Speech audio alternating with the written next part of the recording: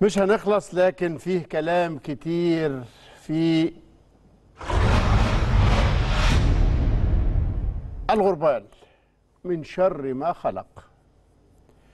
الحقيقة أسوأ حاجة إثارة الفتنة وأخطر حاجة أخطرها خاصة فيما يتعلق بعلاقات الأشقاء مع بعض وعلاقات المنافسات الرياضية.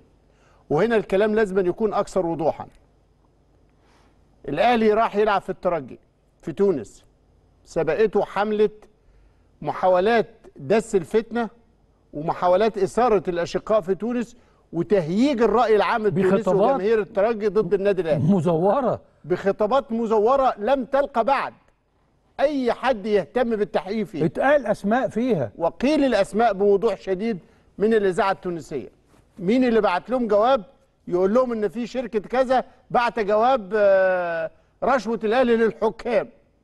حتى اللي بيزور جاهل وعبيط لأنه ما فيش حد هيقدم جواب رسمي يقول فيه أنا إن أنا أنا أنا بقدم رشوة ودي فلوس بدل رشوة. بس فلان وفلان قالوا كده واتقال أساميهم. بس الاذاعه التونسيه قالت ده. محدش حقق ومحدش سأل برغم إنه توتير الأجواء للأهلي في تونس أدت اولا لأحداث دامية أصيب وقتها هشام محمد لاعب الأهلي في وجهه. كادت المباراة أن تفسد لولا تدخل السفارة وأطراف مسؤولة كتيرة جدا تم احتواء الموضوع وخسر الأهلي البطولة. لكن من شر ما خلق كانوا مبسوطين. مثير الفتن لأن آجي ألعب مع المريخ السوداني. المريخ ما عندوش ملعب. ففجأة يتم استضافة رئيس المريخ على التليفون. ويتم محاولة كتابة تويتات مزورة منسوبة إلى رئيس المريخ تقول أصل في اتفاق مع الأهلي على كذا وكذا والتفويت والاهلي لا يمكن يعمل كده. مستحيل وأنت في البطولة. يعمل إيه لكن- ده؟ كل الفرق كان عندها الحظوظ. مين اللي هيفوت؟ لكن الأهلي معاه الهلال والمريخ الاثنين. هي دي بقى اللي الناس مش واخدة بالها يا أستاذ إبراهيم. آه. يعني هم السنة دي مثلا يقول لك المريخ قرر إنه يلعب على ملعب الهلال.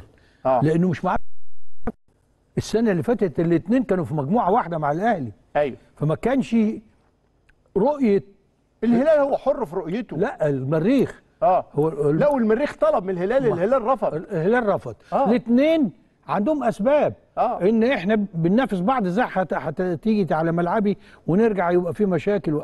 في أسباب وجماهير جماهيرية شديدة لهم أسبابهم وهم حرين. فالسنة دي يجي يقول لك إشمعنى وافقت للأهلي؟ لأن أنا السنة دي ما معيش الهلال. ممكن أطلب من الهلال والهلال يوافق لي. مفيش حرج بينهم. مفيش حرج بينهم.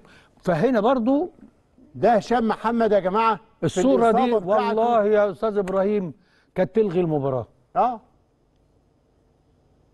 الصورة دي. أيوه. إياك يكون اللي عمل كده بينام. لا هو بينام مرتاح. مم. لأنه بيكررها. ما هو اللي عمل كده هو اللي هو اللي موقع بينك وبين أندية الأقاليم. هو اللي أيوة. موقع بينك وبين آه، آه، الإسماعيلي والمصري والمحلة. يعني ده المحلة دي الغربية اللي كلها 80% منها أهلاوية. أيوه. بيحاولوا بقالهم قد إيه كل ما الأهلي يروح يلعب يبقى فيه مشكلة. مم. باستمرار. وهم هم نفس الأسماء. شر ما خلق. عشان كده بقول لك لما إحنا نتكلم هناك يصنعون التاريخ هنا يتأمرون على كاتبه. طيب. ما هو الأهلي هو كاتب التاريخ الكروي هنا ولا مش هو؟ طبعا. كاتب التاريخ الكروي.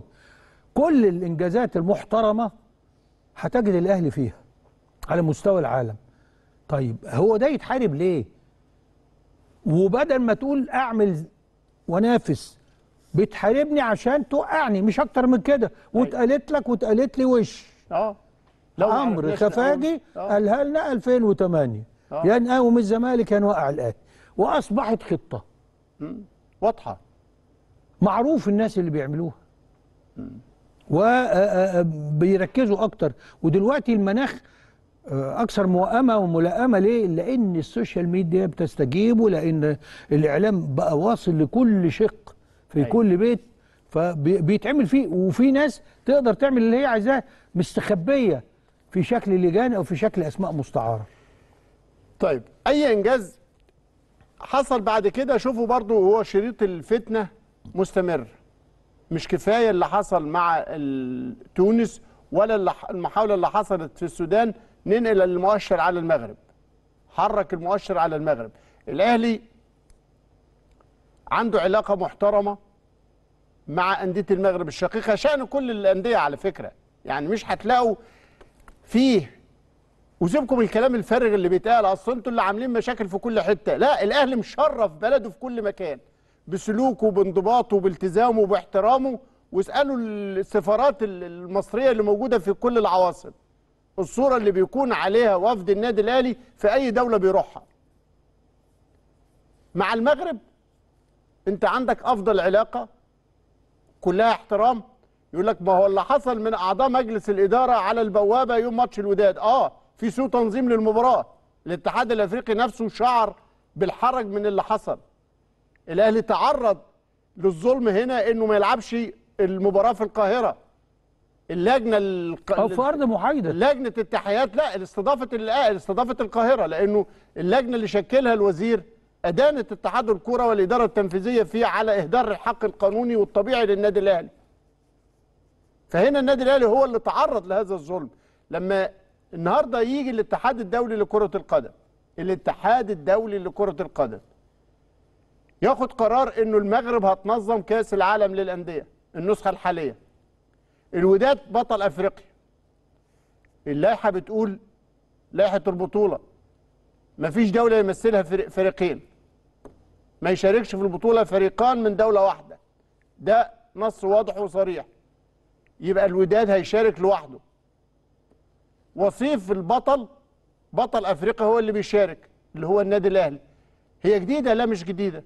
2007 حصلت و2008 حصلت. في المرتين بطل آسيا بيبقى فريق ياباني واليابان بتنظم. فمرة يجي فريق أصفهان الإيراني الوصيف بتاع البطل الياباني لوزاكا ومرة يجي الفريق الأسترالي اللي كان وصيف بتاعه. الاثنين يشاركوا في البطولة لأنه الفريق ال ال ال الياباني بطل آسيا هو اللي بينظم. نفس ال case اللي حصلت في المغرب. أنا عايز أ- أ- أ- كأس العالم اللي اتعملت في المغرب 2012 2013 أ- دخلها الرجاء بصفته صاحب البلد المنظمة لأن ما كانش في فريق تاني من المغرب. أيوه طبعا. فدخل. ووصل لل final. آه. واخد بالك؟ آه. كان بطل الدوري المغربي. وممثل الدولة المستضيفة. بس. فدخل.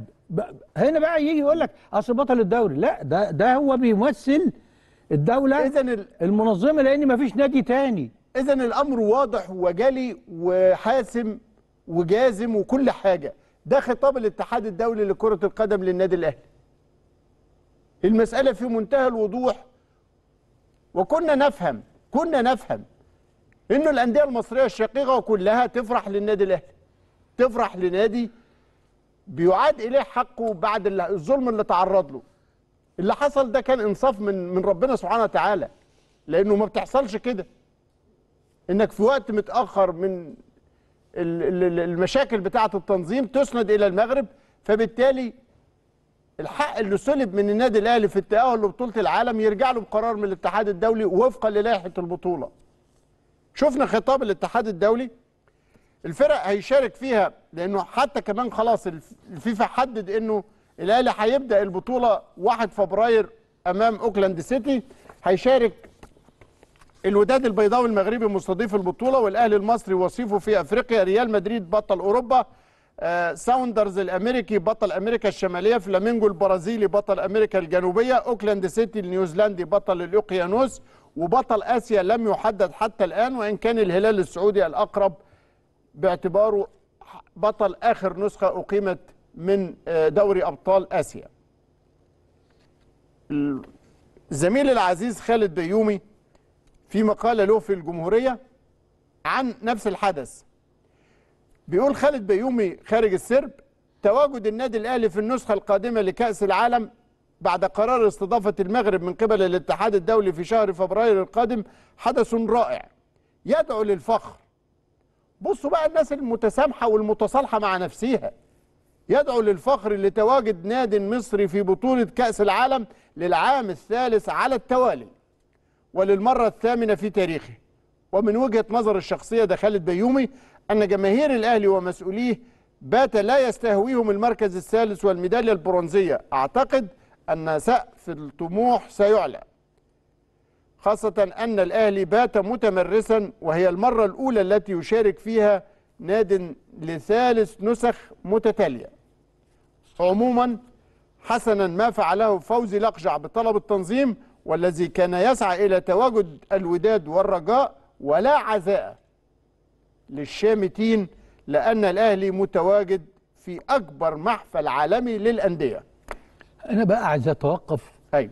عند كلمة الاستاذ خالد بيوم. هو إحنا لسه كنا بنتكلم على بطولة العالم في قطر ليه؟ أيوة. شرفت العرب. طبعا. طب والأهلي لما يشترك في بطولة العالم للأندية؟ ما نبقاش إحنا زي إخواننا. اللي في العالم العربي كله. فرحانين إن في ممثل لمصر في البطولة رجع له حقه. ما أنتش فرحان؟ اسكت. ما بقولكش لازم تفرح لي بس إنك تقعد بقى تقلل وتسفه وتلقح كلام. الحقيقة لا أحد يستطيع أن يسيء للأهلي. أيوة. ولكن الإساءة كل الإساءة لصاحب محاولة الإساءة. لصاحب محاولة ما هو اللي. بيلقح عليك كلام. أيوة. أحيانا هو عارف اللي بيقول كلام. والله إذا نسب إليه يسيء إليه. يعني أنت لما لأن وانت ابتدينا نقول كلام محسوب علينا. فاذا كنت بعدت عن المنطق خالص لدرجة إن مشاعرك مش قادرة تتحمل إن الاهلي يرجع له حقه اسكت. لكن إنك أنت تقول كلام مفيش اتنين اسوياء هيوافقوك عليه. مفيش. والاستاذ هاني حتحوت. يعني أنا برضو مش فاهم الاستضافة قوي ولكنه كان آه، موضوعيا في آه، إدارة الحوار. ومثل كل الردود اللي ممكن تقال. بأمارة إيه؟ يعني ال- اللائحة بتقول اللائحة بتقول اللائحة بتقول اللائحة بتقول. خلصنا. مش عايزين نعيش. الموضوع ده كتير لأنه هيتفتح وهيتفتل منه حاجات والهدف إنك علاقتك تتوتر بالجماهير المغربية وأنت رايح هناك. مش هنقع في الفخ ده آه كل مرة. ويجب أن يحدث تصدي. وأنا هنا ب... أنا أنا هنا عايز أقول إيه يا أستاذ إبراهيم؟ اتحاد الكرة. ما تطلع تحسم الجدل ده. أيوة في واحد بيقول لك إن ف... وبيشاوروا لك الرئيس الاتحاد المغربي بيحاول كذا. اطلع أنت. دافع عن حق النادي الممثل لمصر والهيهات وهو مين يسمح بالكلام ده؟ ولن يحدث لأن اللائحة بتقول. وكلنا ورا النادي الأهلي. مرة مرة مرة يلي بتسأله نعمل إيه؟ اعمل كده. اسند ممثل مصر في البطولة اللي رجع له حقه بعد ما ضاع نتيجة لتقاعسك. ها؟ الاتحاد المصري. جاله. جاله الحق. اسعد بقى. وقف مع النادي الأهلي وحسسه إنه متدفي ومستقوي باتحاده فتقطع خط الرجعة لكل واحد عايز يشكك. لكن هنفضل نتفرج على الأهلي يخوض معاركه لوحده كده؟ ما ينفعش. طب انت انت يعني أشرت لمداخله رئيس نادي الرجاء السيد عزيز بدراوي مع الزميل هاني حتحوت في صدى البلد. نشوفه. ما هي الطلبات اللي تقدمت بيها النهارده وتحدثت إن يوم الثلاثاء ستطالب بتنفيذها أستاذ عزيز نطالب بها من الفيفا ومن الكاف مم. لإنصاف فريق الرجاء البيضاوي وضرورة تواجده في هذه التظاهرة العالمية باعتباره إيه اعتباره وصيف مم. حامل مم. لقب البطولة مم. الوداد هي ممثل كامل ليست ممثل المغرب لأنها حامل اللقب. آه، تواجدها ضروري ويفرضه قانون الفيفا من سيمثل. البلد المستضيف. أستاذ عزيز على أي لائحة تستند؟ أم تستند على المنطق؟ لا لا تنظر القانون آه، آه، في دورة حضر فيها فريقين من البرازيل. لكن في عام 2007 وفي 2008 حصل أن شارك وصيف نسخة النسخة القارية بسبب أن المستضيف كان يابانيا فبالتالي شارك سبهان أصفهان الايراني واللائحة منذ هذا الوقت وحتى هذه النسخة أن وصيف النسخة القارية هو من يشارك إذا كان المستضيف هو بطل النسخة القارية. وبالتالي لا يجوز مشاركة ناديين من نفس الدولة في نسخة كأس العالم. ده منذ عام 2007 طبقا للائحة. يعني يعني إحنا بس حبينا نجيب لكم وجهة النظر اللي بتقول اللائحة عشان ما تفتكروهاش دي افتكاسة من عندنا. كويس إنها جت. ده كلام منطقي جدا لأنه إحنا بنتكلم يا جماعة في لائحة. سيبكم من الرغبة وسيبكم من الأمل وسيبكم من التفسير. لكن دي اللائحة. عايز استأذنك في حاجة. آه. لا نتوقف أمام هذا الأمر غير مقبول ان نناقش الأمور البديهية. لأن قرار. أي محاولة صبيانية آه، لل- لل- لل- للتصعيد في هذا الشأن من من جانب أي حد مصري هي بمثابة الخيانة لمصالح الكرة المصرية. ده كلام مهم جدا. نشوف رأي الكابتن أحمد شوبير. لما أعلن رسميا عن إنه المغرب هينظم كأس العالم للأندية بدأت بعض الناس بقى اللي عايزة إيه تشعللها تشعللها تولعها تولعها. اسمع أصل فوزي لقجع وهيبعت مش عارف إيه. كان الفيفا حاسم حازم اللي بيحصل إيه؟ طبقا للائحة أو للعرف. اللي حصل من قبل إنه كان هناك آه، بطولتين آه، آه، حصلوا البطولة الأولى في عام 2007 اليابان استضافت كأس العالم للأندية. بطل كأس دوري أبطال أو بطل دوري أبطال أفريقيا كان فريق أوراوا الياباني. فهو شارك كمستضيف للبطولة آه، آه، ولم يشارك حتى بطل الدوري ساعتها كان آه، كاشيما. اللي شارك كان نادي اسبهان أصفهان الإيراني وصيف آسيا في المونديال ده 2007 في 2008 والبطولة أيضا كانت في اليابان حصل نفس الأمر. جنبا أوساكا كان هو المنظم وبرضه كاشيما رغم إنه بطل الدوري ما شاركش فاللي نظم كان هو نادي جنبا أوساكا. واللي نظم في المرة الأولانية كان فريق أوراوا المرة الأولانية شارك اسبهان أصفهان الايراني بصفة وصيف آسيا والمرة الثانية شارك أدلايد يونايتد الأسترالي. ده بالنسبة لموضوع المشاركة في البطولة في حالة إنه دولة منظمة آه، فريق منها بيبقى موجود في البطولة. فالأهلي يشارك في هذه الحالة بصفته وصيفا لدوري أبطال إفريقيا. الفيفا دايما حريص على نادي كبير زي النادي الأهلي. وعارف إن وجوده في البطولات بيديها زخم وبيديها قوة وبيديها آه، رونق وبيديها آه، بريق. الأهلي بسبب مشاركاته المتعددة في كأس العالم للأندية وبسبب اسمه العالمي الكبير الأهلي ليس ناديا لا محليا ولا عربيا ولا افريقيا. اذا هو طبعا كل الناس سعيدة بدخول النادي الأهلي اولا لرجوع الحق وتصحيح الخطأ ثم للشعبية الكبيرة. لكن طبقت اللائحة لم يشارك لهذه الأسباب ولكننا سعداء إنه هو اللي شارك طبقا للائحة لهذه الأسباب. فاصل. دي لائحة واضحة جدا وصريحة والأهلي في كأس العالم للمرة الثالثة على التوالي 1 فبراير يلعب إن شاء الله تعالى مع أوكلاند سيتي. الفايز يقابل الوداد بطل أفريقيا والفائز من المباراة يقابل ريال مدريد بطل أوروبا في ال semi final. بإذن الله تعالى يكون الأهلي. هنطلع لفاصل وبعد الفاصل نتواصل.